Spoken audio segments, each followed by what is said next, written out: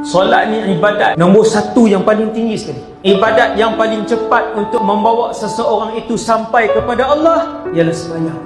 Sebab tu kalau ada orang sembahyang, kalau kemudian ada orang baca Quran tepi tu baca dengan suara yang kuat, maka bacaan Quran itu haram. Sebab dia mengganggu orang yang solat.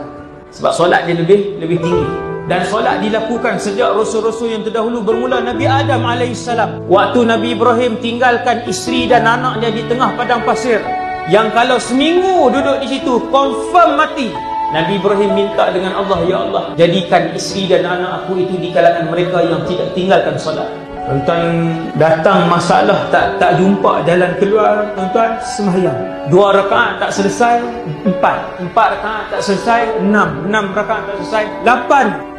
Sembahyang. Pasti Allah buka. Mesti. InsyaAllah. InsyaAllah. Allah mesti buka.